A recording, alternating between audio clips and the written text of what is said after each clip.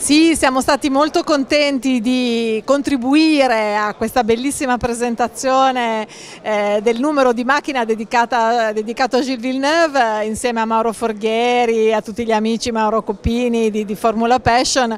portando qui la nostra bellissima 312 T5, una delle vetture di Gilles. Ehm, è una delle vetture, proprio perché al Museo dell'Automobile, come i nostri appassionati sanno, eh, ci sono tantissime perle. Direi che forse la collezione delle auto da competizione è, tra, è la parte più prestigiosa della nostra collezione e siamo anche lieti di annunciare che il prossimo anno dedicheremo un'intera mostra ai 70 anni di Formula 1 dal 1950 al 2020 e quindi vi aspettiamo tutti numerosi.